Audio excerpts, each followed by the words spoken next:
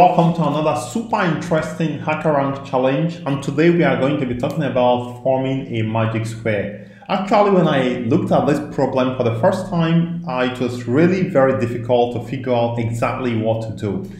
Now I'm going to explain it to you and you'll see that it kind of is easy but it can be quite confusing.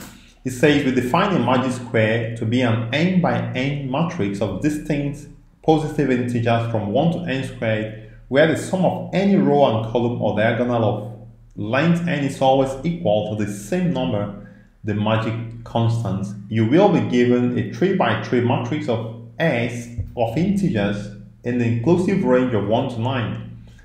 We can convert any digit A to any other digit B in the range 1 to 9 at the cost of A minus B. So given S, convert it to a magic square with, at minimal cost. Print this cost on a new line and note the resulting magic square must contain distinct integers inclusive of the range 1 to 9. Now, if you are a programmer just like me, the, the first thing you might think of is when you have a, a, a square given like this, you might start by reducing each of the elements. For instance, you want to change 5, you want to change it to 6, and then you test whether it's a magic square, you change it to 7. Kind of, you are doing very little steps until you get it becomes a magic square and then you return the, the, the, the, number of steps, you know. So that's kind of an iterative way of doing it, trying to avoid so many loops. But this is not how it is. This question is very confusing because now what you need to know is magic squares for 3 by 3, there, there can only be 8 of them. So if I go back to my whiteboard, I have determine there are eight of these magic squares and these are these magic squares here. So if I'm if I have to write out the first one is 8, 1, 6, 3, 5, 7, and four nine two Okay, so this is this magic square here.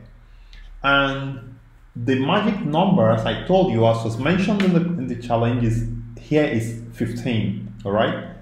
And for all these other eight magic squares is simply exactly like this one, simply either rotated or reflected. For instance, if we take 672 and put it on top, the, it gets this one to have 6, 7, 2, 1, 5, 9, which is the middle, and have 8, 3, 4. So it's basically the same thing, but it's being rotated or reflected. So one thing you need to do in this problem is you have to generate this magic square. Uh, you, you need to generate this list of magic squares, right? But actually you can just copy this list and use it to solve the challenge because the logic of generating this magic square is more or less makes this problem an expert or even beyond hard and expert. So one thing you can do, which I see many other um, um, programmers do, simply copy this and use it in your challenge in the in the in the HackerRank code. Again, let me just show you in case you want to actually know how to generate this code. Uh, then you can use this function here. I'm going to leave this link to this function in the description box in case you want to generate it yourself you can actually use it. So this is how to generate a 3 by 3 magic square. Okay, let's get back here. Now you have this magic squares here. So if you are given an array, for instance, in the question we have uh, we have this array 5, 3, 4, 1, 5, 8, 6, 4, 2. 5, 3, 4, 1, 5, 8, 6, 4, 2. Okay? So what you simply need to do to solve this problem, to change this into a magic square, is to compare it with an existing magic square and save the cost for, for, for conversion. So in this case, we are going to compare to convert this s into 1, 2, 3, 4, 5, 6, 7, 8.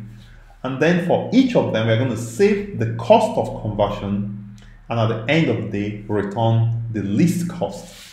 So what it means is we will need two helper functions. The first one is I called it get cost So this get cost is going to take this given matrix here and it's going to take a single magic square here. So I'm going to call it m.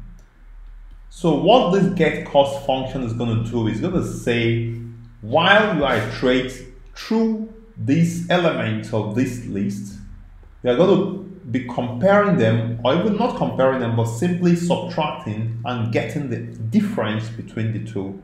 This difference between the two is a cost. So you're going to do 6, 5 is what? Is 1. 3, 7 uh, is 4. 4, uh, 2. And you have to get the total cost of conversion in this way. So that's what this is going to do. It's going to take a single one, a single um, matrix and it's also going to take one of these and then uh, return the cost, right?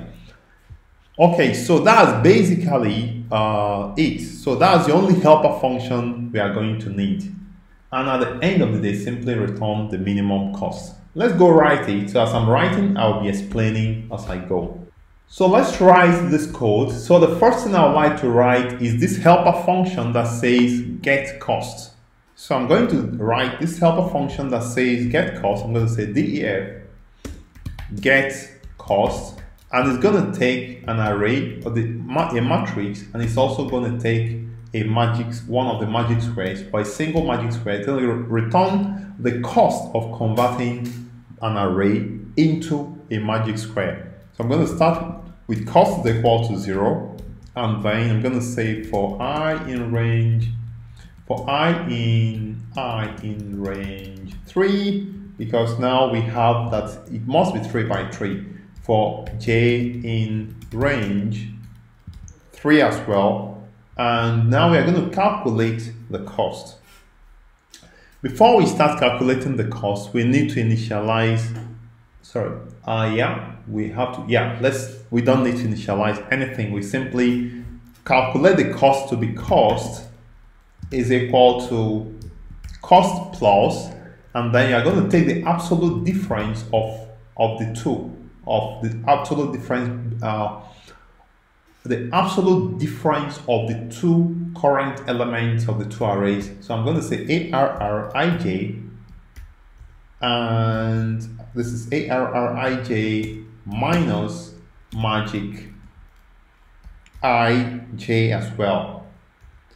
Actually, you can also use the zip function in Python, but I think we can just keep it simple for now.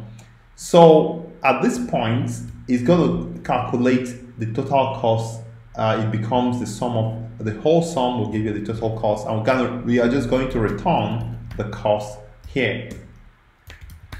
So now we have the cost of, of, of converting a matrix to a magic square. Now we're going to now solve the problem. Uh, first we are going to copy this. I'm going to copy this. Yeah, so as I told you, we are going to copy this array and we are going to use it in our uh, program. So I'm going to copy this right here because we are actually going to use it for comparison. So I'm going to paste it here. I call it all magic. So I'm going to also indent this. Uh, a second. Yeah. So I'm also going to indent this one. Okay, so we have all magic. So I'm going to look through these eight items because this is eight arrays. One, two, three, four, five, six, seven, eight. So we are going to loop through uh, all the arrays here and for each of them we are going to check the cost of converting the given array which is this x into uh, one of these magic squares. So I'm going to initi uh, initiate a loop that says for square for square in all magic for in all magic I'm going to now get the cost cost is equal to get cost.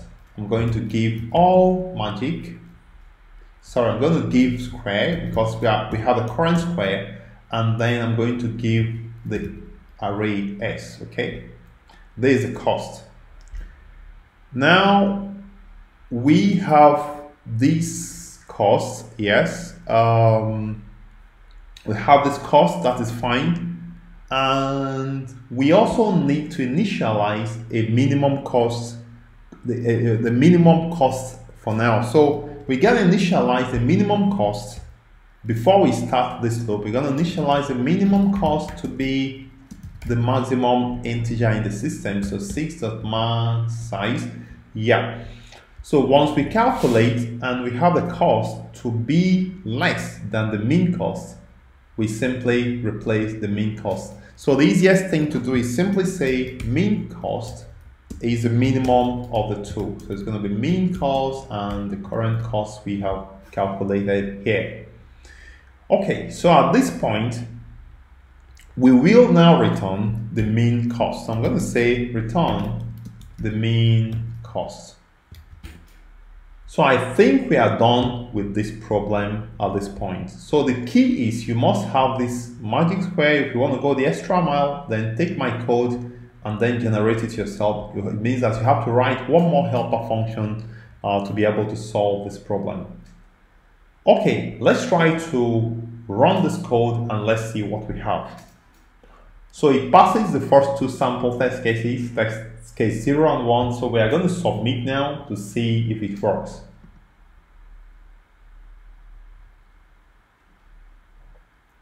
Alright, you can see it passes all the test cases provided. So I think we did a good job. Um, I'd like to thank you for viewing and also I would like to remind you to subscribe to my channel if you've not subscribed. And also leave me a comment if you have any challenges whatsoever.